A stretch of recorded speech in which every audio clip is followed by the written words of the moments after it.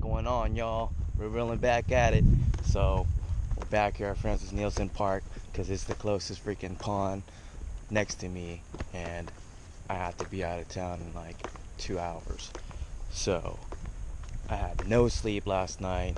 I drank coffee at 2 o'clock in the morning, and I am tired because I could not go to sleep, and that coffee was working, which was a mistake. So, um, but it was a good thing because it kept me awake when I was driving from Richmond.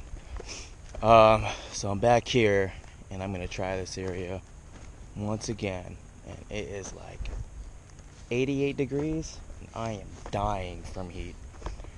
So I don't know how long I'll be out here before I start dying, but I'm gonna give it a shot.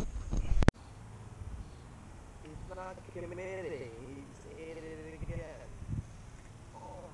Oh.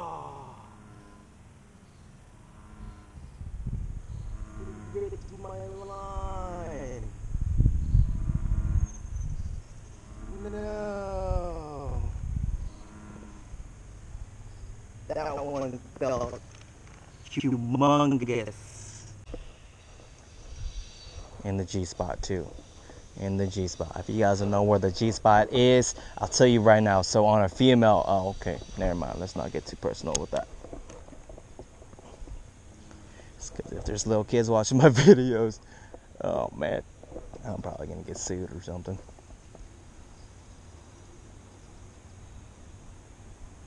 Not that anybody's watching my videos or anything. Woo!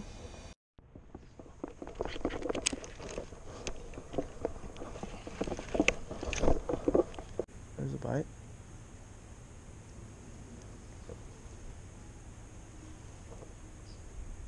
There's a bite. Got him. Got him. Hell yeah.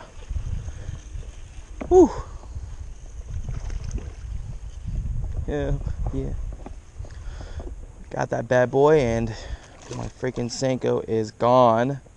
My swim Senko. Why'd you take my swim Senko? God, these are like all the same sizes here. What's going on here? Alright. This is bigger than last time, though. Calm down. Calm down. Calm down. Oh my god, I barely hooked him. Barely hooked him. Look at that hook set. Ready to come out.